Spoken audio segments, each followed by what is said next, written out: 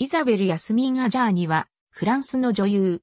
これまで、セザール賞の主演女優賞を5度受賞しており、フランス映画史上最多記録。アカデミー賞には2度ノミネートされている。2010年にレジオンドヌール勲章を、2014年に芸術文化勲章を受勲した。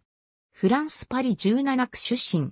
父親はアルジェリア人、母親はドイツ人。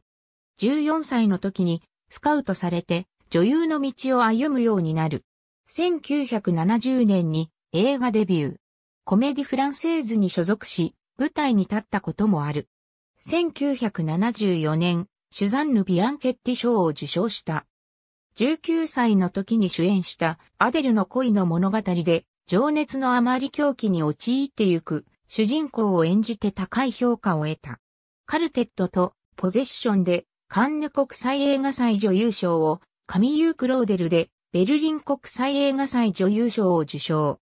さらに、カンヌ国際映画祭コンペティション部門の審査委員長を2度務めており、1997年には今村翔平にパルムドールをもたらした。これまでセザール賞の主演女優賞を5回受賞しており、フランス映画史上最多記録。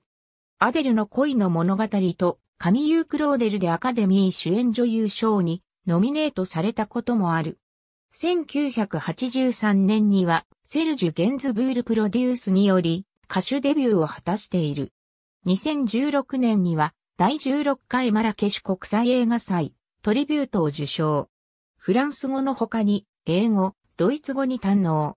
ゴダールの作品を突然降板したり、一度立った役を他の女優から奪い返したなどのスキャンダルも多い。マスコミが嫌いで、特に勝手に写真を撮られることを非常に嫌い、カンヌでパパラッチのカメラを壊したこともあるという。1979年撮影監督、ブリュノに一点との間に男児を設ける。イシュタール、1987年で共演したウォーレン・ベーティとのロマンスも知られている。